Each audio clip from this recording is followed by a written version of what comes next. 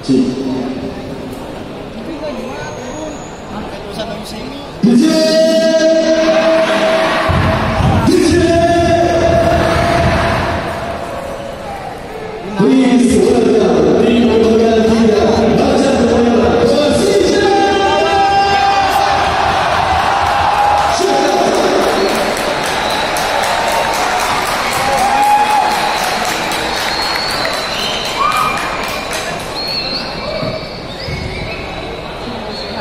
Anda tadi kemana ya?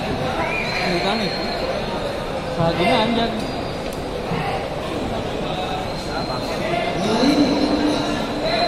Eh baju merah ya?